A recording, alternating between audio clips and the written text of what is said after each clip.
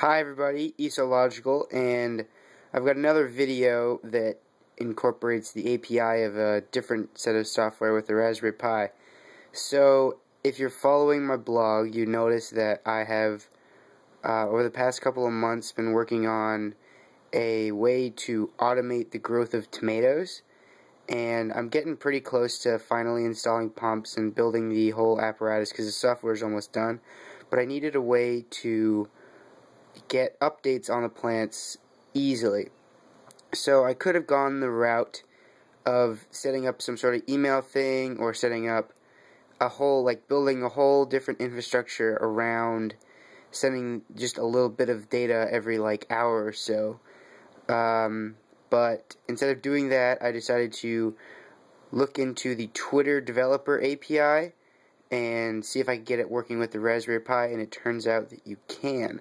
So for my bench test of this, I have a Raspberry Pi um, Model B and uh, wires connecting to an ADC. The post on how to wire the uh, just like all my other videos, there'll be a blog post in the description um, with all of the wiring diagrams and stuff. But this wiring diagram is pretty old. Um, I came up with this a long time ago, back when I started developing analog sensors with the Raspberry Pi. So, but that's not really what's important. So, um, the code will be in the description um, in a blog post, and feel free to check it out there. But essentially, what it does, I'll, I'll show you right here, without revealing my authentication information. Basically, the um, the loop of the function, which I'm using APScheduler to fire on every. Um, right now it's 30 seconds just for the demo, so I can show you it happens to like how it's changing, but it'll be like every hour. Basically, what it does is it reads the um, two sensors. So I have a light dependent resistor and a temperature sensor. So basically, it formats the data into something I can use. So in this case, it's a two decimal place for the um, temperature. It's its degree in um, Fahrenheit to two decimal places and it's also the brightness percentage out of its maximum, uh, the maximum the sensor can read, and that's not really that useful, but it's hard to convert a, uh, LDR's readout to something like lumens um, with this the precision level that I have, so um, I just decided to go with that, but that's not really what came, you came here to see, so here is the Twitter page for the Raspberry Pi, um, so right now I'm going to run the program, which it should initially tweet. So the program just ran, so I'll refresh the Twitter page over here, and there you go.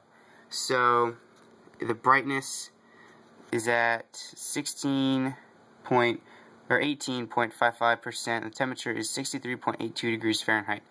And so now I'll come over here, and you can see me covering the LDR so we'll wait for this to fire again. It should in 30 seconds from that last tweet. And then we'll refresh and um, see that hopefully the brightness level went down. So there you go. You can see over there the brightness level. The dialog just says what it's tweeting.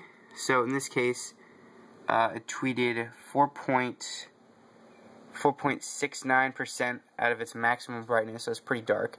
So I'll refresh this. And there you go. You can see that it tweeted 4.69%. Temperature is the exact same. And, um, yeah. So instead of having to develop, spend a lot of time developing a whole different um, library and get all get a whole different infrastructure in place, now I can just access Twitter on pretty much any device and any relevant device I carry with me every day will have Twitter.